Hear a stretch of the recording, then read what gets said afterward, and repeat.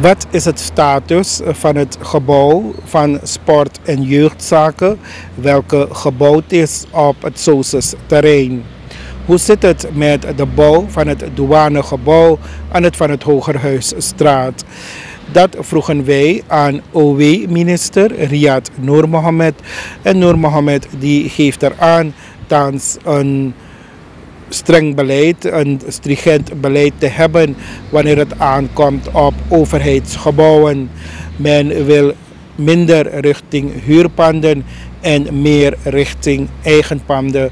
We spraken daarover met de minister en enkele andere belangrijke zaken. Zaken zijn ministerie rakende gebouw van het uh, ministerie van Sport en Jeugdzaken op het Soces terrein. Minister, Kunt u ons vertellen wat het status is van dat gebouw, waarom er bijvoorbeeld uh, nog geen ministerie daaraan kan huis, daarin kan huisvesten? Inderdaad, meneer Ganis, u moet weten dat staatsgebouwen vallen onder de verantwoordelijkheid en taakstelling van um, het ministerie van Openbare Werken.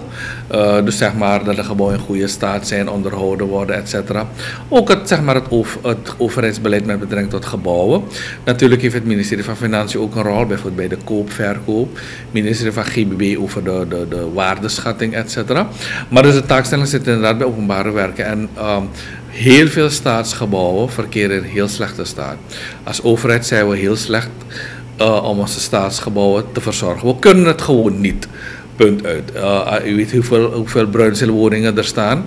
Dus er moet wat gebeuren. Ik heb niet lang terug voor de Raad van Ministers voorgesteld. Laten we actie ondernemen. Wat we niet kunnen doen, moet je afstoten. Dat betekent verkopen. En met het verkopen, met de opbrengst, um, kan je dus die uh, vele halve gebouwen. Je moet weten, er zijn tientallen halve scholen, tientallen halve kantoorgebouwen die nooit afgemaakt zijn afgelopen jaren. Uh, u weet, bij het CBB-kantoor was ooit een paal geheid, nooit is het kantoor gekomen. Dus zo zijn er heel veel halfgemaakte gebouwen en gebouwen die vervangen moeten worden. Dus ik heb gezegd, laten we innovatief zijn en niet blijven kijken hoe alles achteruit gaat, maar wat we niet nodig hebben afstoten. En met dat geld um, uh, de kantoren renoveren of moderniseren of gewoon nieuwe panden opzetten, efficiënte panden. En zo hebben we als pilot gekozen, heel toevallig al aan, zonder dat je het weet, het gebouw van SOSES. De toekomst is dat het ministerie van um, ROS, het hoofdkantoor, zal daar gevestigd worden. Ja. ja. Maar wat we nu daar zien, minister, is dat er vernielingen worden aangebracht aan uh, het gebouw. Wanneer wordt daar alles afgerond? Nou kijk, we hebben geen keus. We moeten even de procedures volgen. De procedure heb ik in werking gesteld dat we alvast beginnen met dat gebouw. Wat gebeurd is in het verleden kan ik niet uh, herstellen of terug gaan vinden. Ik ga geen zinkplaten en stenen gaan zitten zoeken. Uh, ik ben niet verantwoordelijk geweest als zodanig voor dat halve gebouwen die men heeft opgezet. Uiteindelijk is het wel de staat, dat Nassani, wij als belastingbetalers draaien voor die kosten. Want die gebouwen zijn niet opgezet met middelen van een ander land, zijn met middelen van de belastingbetaler. Dus ik wil een duurzaam traject inzetten om ervoor te zorgen dat de belastingsgelden van dit volk niet verspild worden en vergooid worden zoals andere politici hebben uitgehaald hier en regeringen hebben uitgehaald hier. Dus u gaat een nieuw beleid zien met betrekking tot staatsgebouwen en staatspanden. Wat is het status van het gebouw van de douane waar wij ook waren bij eerste steenlegging en men had aangegeven dat het binnen 12 maanden opgeleverd zou worden? Dat is het gebouw um, bij, bij de brug, no? Ja. Ja, dat gebouw wordt afgerond. Er waren wat problemen. Er, komt een, uh, on, er is een onderzoek in, uh, aangevraagd bij het klad. Toen ik als minister hier kwam, kwam dat project op mijn tafel.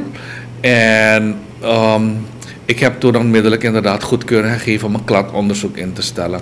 Dat onderzoek loopt, ik heb nog geen rapportage gehad. Uh, maar uh, ik heb niet lang terug de, de partijen ontvangen. Uh, goed gesprek gehad. En dat is een gebouw dat door de vorige regering aanbesteed was als een design build finance model. Um, um, en wat ik ook heb begrepen is dat um, mij, terwijl die eerste steen gelegd is, alle kosten ook betaald zijn van het hele project. Kunt u voorstellen. Uh, dus uh, het zal niet uh, lang. We, we, bereiden ook nu een case voor. Om na te gaan wie verantwoordelijk is hier, wie hebben meegewerkt. En dan zal een strafrechtelijk case hiervan gemaakt worden.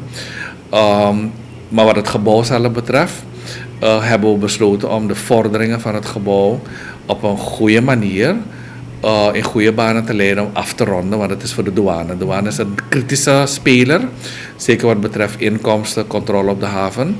Uh, dus dat gaan wij op een of andere manier wel afronden. Binnen, binnen hoeveel tijd, minister? Eerlijk gezegd kan het binnen drie maanden opgeleverd worden.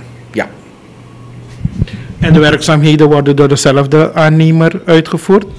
De aannemer blijft hetzelfde. Wat we hebben besloten is dat we een directievoerder erop gaan toevoegen. En het ministerie van Baarwerk gaat separaat controle uitvoeren. Um, en op die manier willen we proberen om, eh, zeg maar, december, hooguit januari, maar als het kan december, uh, het gebouw af te ronden en ter beschikking te stellen van de douane. Ja. En uw eigen gebouw hier, minister, we kennen de HEISA vijf jaren terug of tien jaren terug bij de vorige regering. Dat dit niet meer voldeed aan de eisen van deze tijd. En met alle andere problemen. Nu bent u zelf hier gehuisvest. Uw eigen gebouw?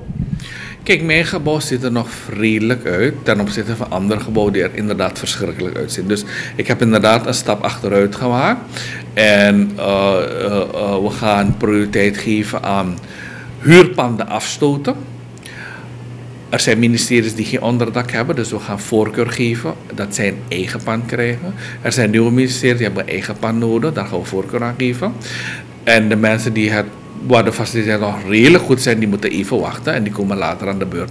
Maar we gaan ook proberen dit soort panden uh, op een of andere manier uh, zonder druk van de belastingbetaler op te zetten. Dus op een andere manier. We willen ook kijken als we die panden kunnen opzetten in, in een uh, PPP-model waarbij commerciële ruimtes verhuurd worden en de rest van de staat blijft. Het zijn allemaal mogelijkheden omdat we beperkte middelen hebben en toch moeten we zoveel staatsgebouwen in orde maken. Dus u weet hiervoor was er ook al een ontwerp gemaakt. Tien jaar terug zou er een uh, Twin Tower hier komen. hier aan de achterkant. Maar ik heb dat even geparkeerd omdat de nood bij andere mensen vele malen hoger is dan bij hier. Het is waar dat kabels en, en leidingen allemaal niet meer kloppen. Dat is waar, maar uh, we kunnen het nog redden. Minister, een ander onderwerp waar ook de laatste tijd heel veel over wordt gezegd. En dat is het baggerproject. Wij hebben de eerste berichten gehad dat er daarmee dus een aanvang is gemaakt. Kunt u ons een update geven? Inderdaad, de baggerbedrijven zijn op dit moment bezig te baggeren in de rivieren. De metingen worden gedaan, de controle wordt gedaan. Dat project loopt goed, heel goed. Uh, binnen vier maanden moet de eerste fase opgeleverd zijn, dat is zeg maar december. Um, dan um, hebben we het eerste probleem hopelijk verholpen. Dat is uh, het mogelijk vastzetten van schepen. Want wat schepen gingen vastzitten bij de monding. Dus we zijn nu bezig in de monding. Het probleem als eerste op te lossen. Als dat gebeurd is, dan gaat in werking treden het staatsbesluit. Uh, inning van de vergoeding, de VVG, vergoeding voor gebruik. Dat zal geïnd worden vanaf die datum, zeg maar januari ergens. Um, met die inkomsten gaan wij de schulden aflossen en de lening aflossen. En dan komt de tweede fase. Uh, voor financieren, dat is uh, de 5,5 meter. En dan, dan komt de derde fase. Uh, dat weet ik nog niet, wat voor diepte en hoeveel dat kost. Maar dat is het traject van de Suriname rivier en het baggerproject. En kan een staat voldoende verdienen aan VVG? Ja, ja. Um, Um, als iedereen betaalt, dan uh, uh, kun je dus op deze manier die, de havens, de vaargeul, de ontwikkeling in de Suriname-rivier heel levendig houden. En is het, uh, kan, het, kan het, of is het, een winstgevende business. En de werkzaamheden, wie baggert? Er is een consortium van twee bedrijven uh, Boskalis, NV en de Boeren NV. Dat zijn twee grote internationale bedrijven, zeg maar binnen de top uh, eh, 10 zeker, binnen de top 5 misschien zelfs. Die, die, die uh, doen dat gezamenlijk. En binnen hoeveel tijd zal dit alles rond zijn? Dus het contract is voor twee jaar getekend. Um, maar het is in fases. Dus de eerste fase is, dus puur contractueel twee jaar. Maar wij gaan proberen, we hebben een versneld traject nu ingezet. Van één, de eerste fase opleveren. En dan zijn wij nu al de gesprekken aan het voeren met uh, de verschillende stakeholders om te kijken uh, als we het proces niet kunnen versnellen. Maar versneld proces betekent ook dat je versneld middelen moet hebben. Dus er moet een balans zijn tussen, tussen baggeren en middelen. Als je dat niet hebt, dan uh, uh, is het risico heel hoog dat je morgen al stopt. En dat is de balans die ik zoek. En wie voert de controle uit? De controle wordt door het ministerie van OW gedaan en er is een aparte directievoerder die op het veld controleert en die een, um, uh, ook de milieustudies voor ons op zich heeft genomen om, om dat deel op zich te nemen en te controleren. En natuurlijk hebben we de maritieme autoriteit die ook zijn expertise heeft en de baggerbedrijven die leveren resultaten ook in. Minister, hoe zit het met de projecten rond het um, ja, egaliseren van wegen, maaien en alle overige werkzaamheden? Ja, langzaam zijn wat middelen vrijgekomen. U weet, we hadden een groot ophaalprogramma gedaan. Dat loopt nog steeds.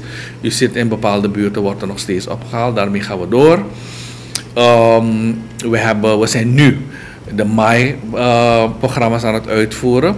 We hebben vandaag de MAI-contract ondertekend. Dus u zal zien dat heel wat van de primaire wegen, de hoofdwegen, uh, de bermen gemaaid zullen worden. Niet zo frequent als vroeger, want zoveel middelen hebben we niet op de begroting. Maar in ieder geval zullen ze gemaaid worden, regelmatig tot volgend jaar.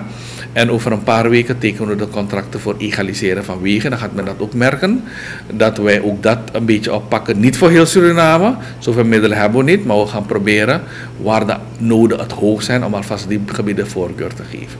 Landelijk of Paramaribo alleen? Uh, vooral Paramaribo Wanica en de nabije districten, want dan kunnen we de machines sturen naar de districten. En in andere districten proberen we het met de machines die we daar hebben. Bijvoorbeeld in Nigeria hebben we eigen grader, die gebruiken we samen met Coroni. Saramaka sturen van hieruit, Kommerwijnen sturen van hieruit, maar ze hebben ook een machine. Dan willen we districten als Para vooral helpen. Uh, Marwijnen, Broekbonde die het niet hebben, daar willen we dan helpen. En de maaibedrijven, dat is allemaal... Die is wel landelijk, ja, landelijk, maar is niet de bedoeling dat we heel Suriname maaien en alle bomen maaien. Dus er gaat een stuk eigen bijdrage moeten zijn. Deze gaan ook een beetje moeten inkomen, want we gaan vooral de primaire en hoofdwegen doen. Maar niet bij jou thuis. Dat moet de burger zelf doen.